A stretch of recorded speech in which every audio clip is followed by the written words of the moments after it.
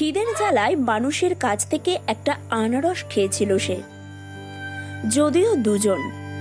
কারণ ওর পেটে ছিল আসন্ন সন্তানও।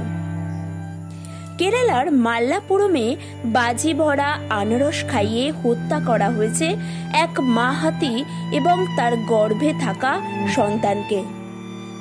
ঘটনার কথা প্রকাশে আসতেই নিন্দায় গর্জে উঠেছে গোটা দেশ। সাংসদ মানেকা গান্ধী থেকে শুরু করে বলিউড, টলিউড তারকারা সরব হয়েছেন। ধিক্কার দিচ্ছেন সাধারণ মানুষও। তৈরি হয়েছে পোস্টার। শয়ে শয়ে লেখা সোশ্যাল মিডিয়ায়। সবকিছুরই মূল নির্যাস, মানুষ এমনও পারে? মানুষে এমন পারে।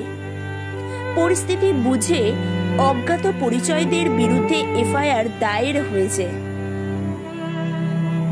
সাংসদ তথা পশুপ্রেমী বলে গোটা দেশে পরিচিত মুখ মানিকা গান্ধীর কথায় এটা নৃশংস হত্যা।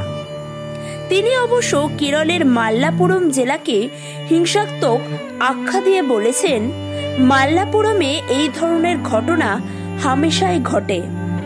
সবথেকে হিংস্র জেলা।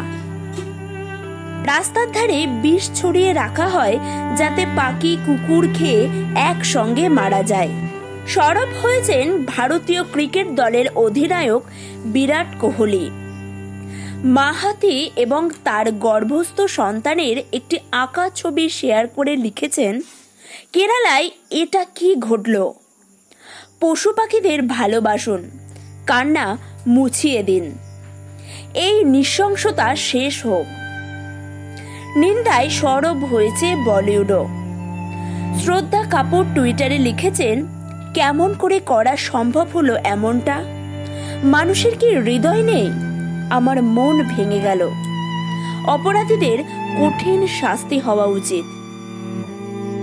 অভিনেতা রণদীর হুডা পশুপ্রেমী হিসাবে বারবার সামনে এসেছেন।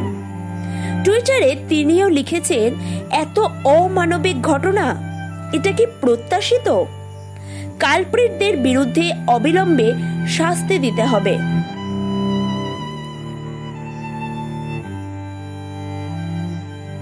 আলিয়া ভাট লিখেছেন, অত্যন্ত নিন্দনীয়। ভাষা খুঁজে পাচ্ছি না। আমাদেরই ওদের আওয়াজ হতে হবে। এই ঘটনা অসুস্থ মানসিকতার পরিচয় দেয়।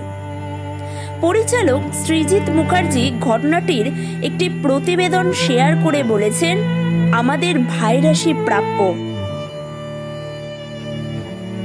ধিক্কারে সোশ্যাল মিডিয়ায় গর্জে উঠেছে সাধারণ মানুষও। গর্ভবতী হাতিটিকে বাজি ভরা আনারস খেতে দেওয়া হয়েছিল। আর সেই বাজি ভরা আনারস ফাটতেই ছিন্ন ভিন্ন হয়ে যায় হাতিটির জীব এবং মুখ। শুধু কি তাই? সন্তান যাতে বাঁচে, সেই প্রাণ চলে যাওয়া অবস্থাতেও হাতিটি দাঁড়িয়েছিল জলের মধ্যে। বন বিভাগের আধিকারিক মোহন কৃষ্ণন বলেছেন, মানুষকে বিশ্বাস করায় হাতিটির কাল হলো। খাবার খাওয়ার সময় সে হয়তো ভেবেছিল, মানুষ দিচ্ছে যখন নিশ্চয় ভালো হবে। ভাবছিল নিজের আসন্ন সন্তানের কথাও। প্রচণ্ড যন্ত্রণা আর কষ্টেও হাতিটি কারও ক্ষতি করেনি।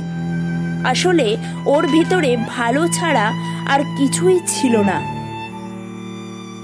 কৃষ্ণন জানিয়েছেন, অন্য দুটি কুনকে হাতি দিয়ে নদী থেকে এই হাতিটিকে তোলার চেষ্টা করা হলেও সে কোনো সারা শব্দ দেয়নি। কৃষ্ণন বলেছেন, আমার মনে হয় ওর ষষ্ঠ ইন্দ্রিয় কাজ করছিল। মৃত্যু আসন্ন ভেবেই সে আমাদের কিছু করতে দেয়নি। নদীতে দাঁড়িয়েই শেষ নিঃশ্বাস নেয় সে।